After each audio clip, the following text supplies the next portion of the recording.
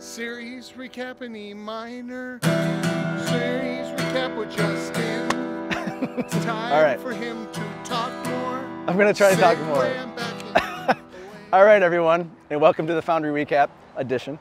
And um, so, as you guys know, today we wrapped up our series of Why We Worship, Part Three, and we're unpacking the song "Reckless Love," which was a lot of fun. So, hopefully, uh, you guys have been using the devotionals um, this past few weeks that we've been in the series, and you've been just really diving into the lyrics we're actually singing together.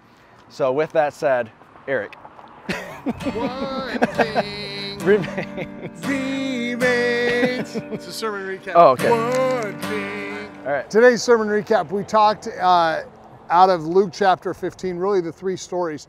The stories of the sheep, the shepherd who left the 99 to save the one, the story of the woman who turned her house upside down searching for the coin, and the prodigal son. And really, what it does is it details for us the reckless love of God. It tells us that God has ever been searching for us as we have wandered away and gotten lost, God has sought us. And in the end, that really is the sermon recap for you guys to know that God's searching and desiring to connect with you and know you because He loves you. And His love is not passive, He has sought you every day of your life, even before you were born. With sermon based small. Hopefully, this music's getting you guys in the mood for these questions. That's what it should be doing. So after you guys just got done reading uh, Luke 15, this is our first question for you. In this series, we have looked at three reasons we have for worshiping God. First, because He is holy, He is God, and He made a way for us to approach Him, boldly approach Him. Second, we worship Him because He is sovereign. His ways are higher than our own, and we can trust Him. Lastly, we worship because He loves us dearly.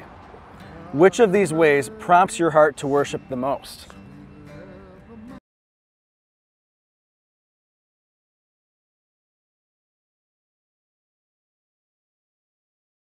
Which of the three stories do you identify with most? Are you a sheep, coin, or prodigal?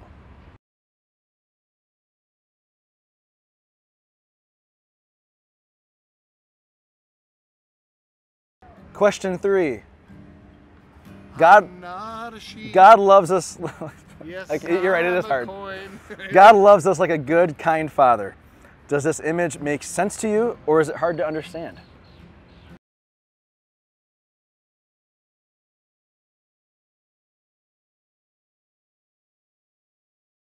Question four. Read Psalm 139 as a group, but have each person write down the sentence that stands out to them the most.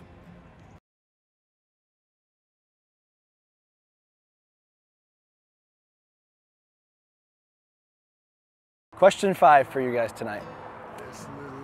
Matthew chapter 5, verses 14 through 16 says this You are the light of the world. A town built on a hill cannot be hidden. Neither do people light a lamp and put it under a bowl. Instead, they put it on its stand, and it gives light to everyone in the house. In the same way, let your light shine before others, that they may see your good deeds and glorify your Father in heaven. We don't do good deeds to bring honor to ourselves, but to bring glory to God. How is living out your commission as the light of the world an act of worship?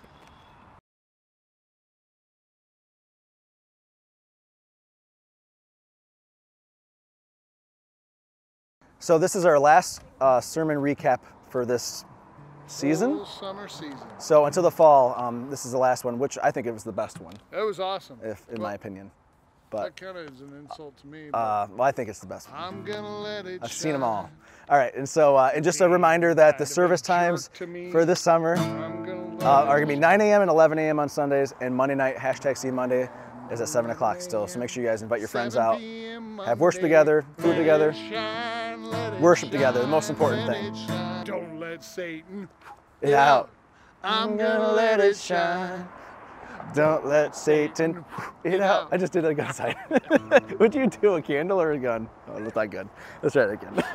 I'm oh, like, that's too perfect. okay. This has been an awesome series of worship. Justin, you guys have done a great job with it. We hope you connected with it and see the value in the scripture within our worship songs and the importance theologically of it. We're super excited for Joseph coming up. oh yeah. 9 and 11 starting June gonna 3rd. so good. If you're able to attend on Monday night, that would be awesome as well. Um, I think that's about it. I think we're signing off Yeah. until um, September when we start doing these again. Sad face. Ground control to Major Tom. Going to summer countdown. Don't go too far. It's gonna break. Uh, well, you were supposed to walk Oh, with me. okay. Ground control to Major Tom. Walking closely, engines on. Have a good summer. That's